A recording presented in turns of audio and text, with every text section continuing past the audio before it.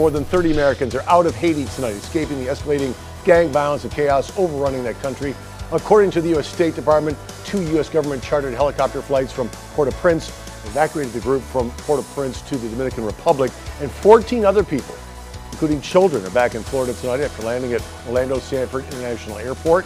They were transported from Haiti using state of Florida resources. Governor DeSantis announced their safe arrival late today. The flight could not get out of Haiti Tuesday.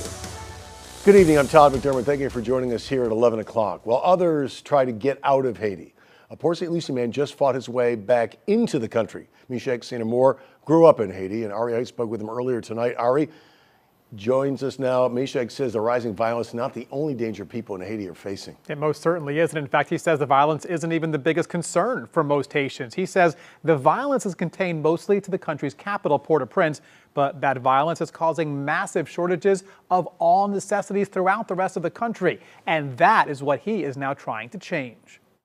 When Meshach St. Amour landed in Haiti Tuesday, he expected the worst. He still wasn't prepared for what he found it's most likely worse than what I was thinking. Meshach is the president of an organization called Habitat for Children Ministries based in Port St. Lucie. He grew up in Haiti and has returned to his village with supplies 1,500 pounds of food. He is carefully giving it away where it's most needed. It's just not enough to share with everyone. It can't work like that. That's what we was hoping but it can't work like that because right now you're going to start something you can finish. Meshach's village is far away from Haiti's capital, Port-au-Prince, a center for violence and terror over the last few weeks. He says there's no violence where he is, but they are still suffering. A shortage of food, uh, gas, uh, food itself, and also anything you can take out to feed a family.